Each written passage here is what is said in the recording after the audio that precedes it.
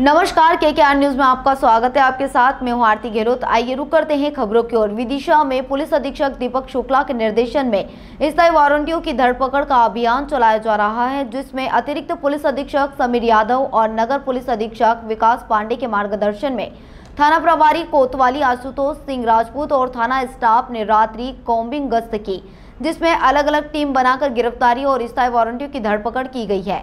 जो थाना क्षेत्र के नौ स्थायी वारंट और नौ गिरफ्तारी वारंट तामील कराए गए।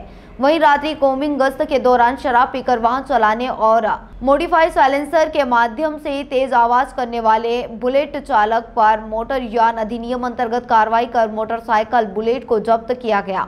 विदिशा से के के आर न्यूज़ के लिए रंजीत ठाकुर की रिपोर्ट। फ़िलहाल खबरों में इतना ही। आगे की तमाम खबरों को जानने के लिए आप बने रहे के के आर न्यूज़ के साथ। नमस्कार।